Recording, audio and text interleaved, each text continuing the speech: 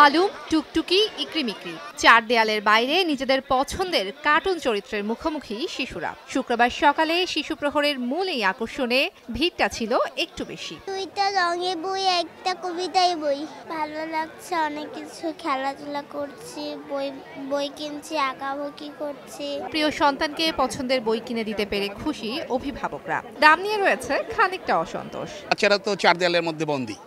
তারা কম্পিউটার আর মোবাইল গেমসের মধ্যে সীমাবদ্ধ। তা আমরা অভিভাবকরা ইচ্ছা করলে তাদেরকে এই বইমেলার সাথে বইমেলায় নিয়ে এসে তাদেরকে এই বইয়ের সাথে পরিচয় করিয়ে দিতে পারি। বইটার দামটা একটু চড়া একটু কমলে ভালো হতো মেলায় ঘুরতে এসেছিলেন মার্কিন রাষ্ট্রদূত রবার্ট মিলারও। বইমেলার অনন্য এই আয়োজনে যুক্ত হয়ে সময় সংবাদের কাছে মুগ্ধতা প্রকাশ করেন তিনি।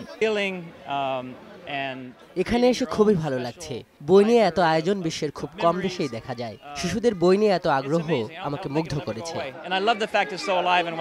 মেলায় উপস্থিত বিশিষ্ট ব্যক্তিরা শিশুদের উপযোগী বই প্রকাশে বাড়তি সতর্কতা অবলম্বনের আহ্বান জানান। মনে রাখতে হবে যে মানসম্মত যেন শিশু সাহিত্য হয়। এইটাকে মনিটরিং না করা পর্যন্ত আমাদের শিশু সাহিত্য কখনোই ভালো হতে পারে না। আমাদের বইগুলো এডিট হয় না ঠিক মতে বাক্য হয় না গল্প যথার্থ হয়নি।